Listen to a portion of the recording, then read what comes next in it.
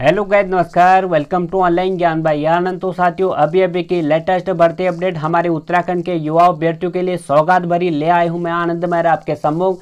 साथियों, कुछ वीक पहले हमने आपको अवगत कराया था कि मुख्यमंत्री जी ने घोषणा की है कि आपको अब फ़ीस फॉर्म भरने में नहीं देने पड़ेगी, चाहे उत्तराखंड लोक सेवा आयोग विज्ञापन निकाले, चाहे अधीनस्थ सेवा चयन आयोग, चाहे चिकित्सा सेवा चयन बोर्ड या यूबीटीआर जिस भी भर्ती बोर्ड के द्वारा हमारे उत्तराखंड में भर्ती के लिए विज्ञापन आएगा, उस पर आपको फ़ीस नहीं देनी पड़ेगी। तो शासनादेश जारी न होने की वजह से उसके बाद हमारे उत्तराखंड में वैकेंसी आई।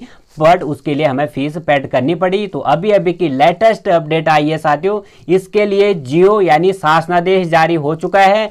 31 मार्च 2022 तक आपके लिए उत्तराखंड में जिस भी भर्ती बोर्ड के द्वारा फॉर्म निकाले जाएगा, उसमें आपको फ़ीस जो है ऑनलाइन फ़ीस नहीं देनी पड़ेगी। अभी अभी की लेटेस्ट भर्ती अपडेट पाने के लिए आप लोगों को हर समय अपडेट हो। हमारे इस चैनल की सदस्यता आपने प्राप्त नहीं की तो सब्सक्राइब ज़रूर करें। बगल में बेल आइकन ऑन प्रेस कर हमारे इस चैनल की सदस्यता लेना मत भूलेगा ताकि आप लोग उत्तराखंड में हर भर्ती से अपडेट हो सकूँ। तो उत्तराखंड में परीक्षाओं के लिए आवेदन शुल्क आप, आपको नहीं देना पड़ेगा। अभी अभी धामी सरकार ने शासनादेश इसमें जारी कर दिया है। पूरी अपडेट जानेंगे साथियों। और जो अभी विधानसभा में वैकेंसी आई हुई है उसके लिए हमें नौ सौ रुपये फ़ीस देनी हो रही है। क्या इसमें भी कमी होगी? तो इसे भी हम आपको बताएँगे। बस आपको वीडियो में बने रहना है। साथ इस न्यूज़ को पहले पढ़ते हैं। तो राज्य ने विभिन्न चयन संस्थाओं द्वारा भर्ती के लिए आवेदन जो आमंत्रित किए जाते हैं, उसके लिए अब आपको 31 मार्च 2022 तक आवेदन शुल्क नहीं दिया जाएगा। इस पर धामी सरकार ने, उत्तराखंड सरकार ने शासनादेश जारी कर दिया है। कोविड नाइन्टीन से रोज़गार एवं अर्थव्यवस्था पर पड़े प्रतिकूल प्रभाव को ध्यान में रखकर मुख्यमंत्री पुष्कर सिंह धामी जी ने यह घोषणा की है। तो उत्तराखंड के अभ्यर्थियों के लिए बड़ी सौगात है साथियों, इसमें शासनादेश जारी हो चुका है। अब देखते हैं धामी सरकार इकतीस मार्च दो 2022 से पहले कितने पदों पर वैकेंसी निकालेगी?